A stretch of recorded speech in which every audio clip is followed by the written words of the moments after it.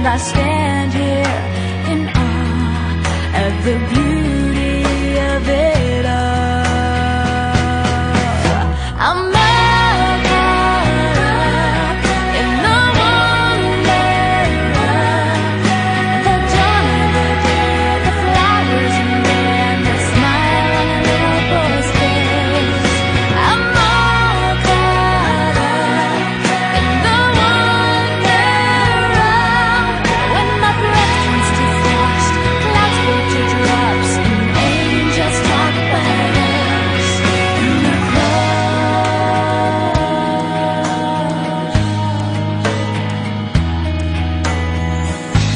treasure your